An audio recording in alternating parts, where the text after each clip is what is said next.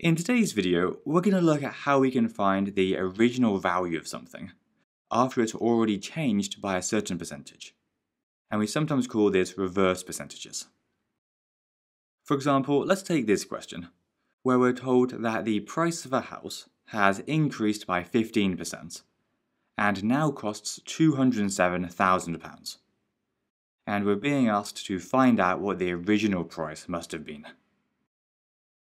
So in this scenario, the £207,000 is the new price, after some original price, which we don't know yet, has been increased by 15%.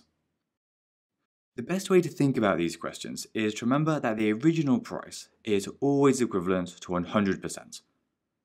So in this example, where the price is increased by 15%, the new price is effectively 115% because we can think of it as the original 100% plus the extra 15%, which is 115% in total. This way of doing it is actually really helpful because it means that we can find out what 1% is by dividing the £207,000 by 115 to get £1,800. And because £1,800 represents 1%, all we have to do to find the original price which remember we said earlier was 100%, is multiply £1,800 by 100, showing us that the original price was £180,000. Now, this here is a little bit messy and potentially a bit confusing, so you don't really want to lay out your workings like this in the exam.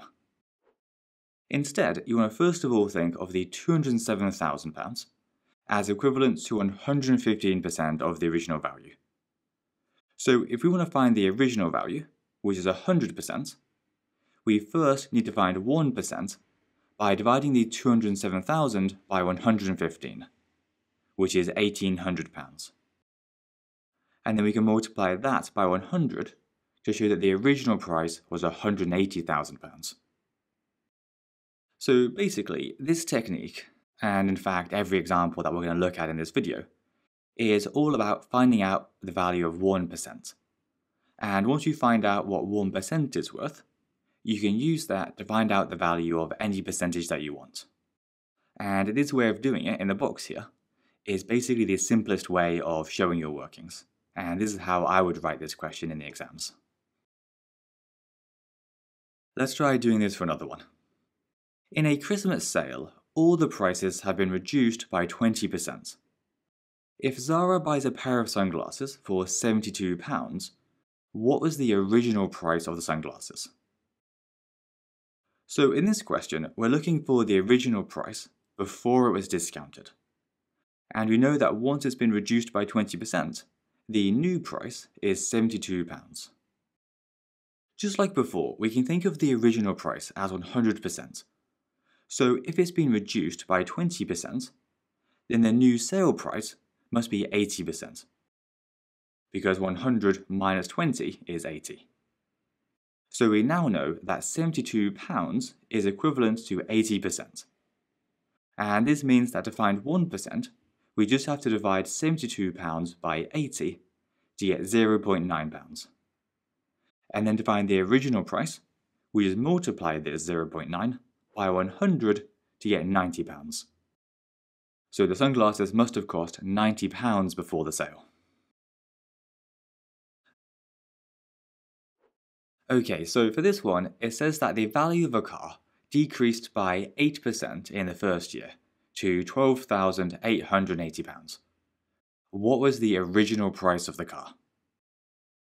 Well, this time, £12,880 is the new price, and we know that it's decreased by 8% from the original price which we don't know the exact value of, but we can think of as 100%. This means that the new price must be 100 minus 8, or 92% of the original. So we're going to have to do 12,880 divided by 92 to find that 1% is £140, and then we can multiply that by 100 to find that the original price must have been £14,000. Now, just before we finish, we need to look at a slightly different version of these reverse percentage questions. which are ones where they tell you how much the price has changed by, rather than telling you the new price. For example, in this question here, we're told that the price of all seasonal rail tickets increased by 5%, and that the price of the London to Bristol ticket increased by £42.50. What did the ticket cost before and after the increase?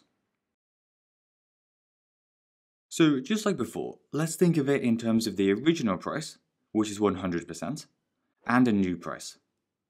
But this time it's a bit different because we don't know the value of the new price. Instead, we're given extra details about the change in price. The question tells us that the price has increased by 5%, and that the actual value of that 5% increase is £42.50. So this time, to find 1%, like we've been doing for the other questions, we need to divide the £42.50 by 5. To find that 1% is £8.50. And so now, to work out the original price, we can just multiply the £8.50 by 100 to get £850. So the seasonal ticket cost £850 before the price increase. Then to find the new price after the increase, we just multiply £8.50 by 105. Because we want the original 100% plus the extra 5%, which gives us 105%. So that will be £892.50. Or alternatively, you could have also just added the original price of £850 to the change in price of £42.50, and that would have also given you £892.50. So either way of doing it is perfectly fine.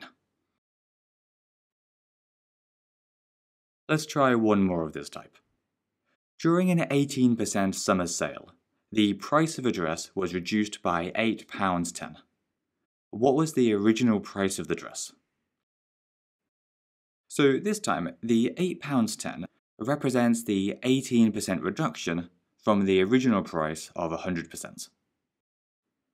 So to find 1%, we need to divide £8.10 by 18, which is £0.45. And then to find the original price, we just multiply this by 100 to get £45. So the original price was £45. Anyway, that's the end of this video. So I hope that all made sense. Don't worry if you find this technique quite tricky, it does take a bit of getting used to. And I'd definitely recommend just doing a whole bunch of exam questions and just check the mark scheme after every single one. But anyway, if you found it useful, then please do give us a like and subscribe, and we'll see you again soon.